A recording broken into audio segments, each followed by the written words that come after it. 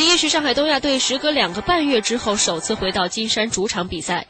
尽管上轮不敌南京友友，让球队冲超的希望基本破灭，但小将们还是在比赛中展现出了良好的精神状态。第九分钟，东亚队就险些攻破对手球门，可惜王云龙的一脚扫射被球门立柱拒之门外。此后，双方的比赛激烈有余，而精彩不足。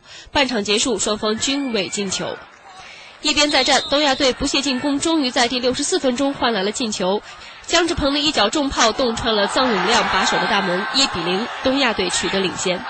三分钟后，卷土重来的东亚队又由吴磊头球再得一分。曹云定在八十四分钟的进球让对手扳平的希望彻底破灭。最终，东亚队在主场三比一取得胜利。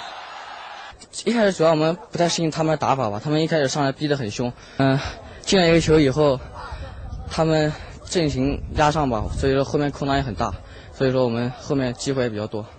对我们准备明年全运会这一场球，那个那个价值是最大的。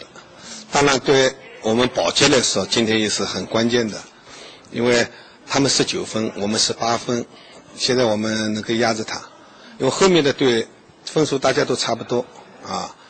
嗯，该该拿分的话，啊，多拿几分。后面因为我们有七场客场，应该说今天进的球比较漂亮。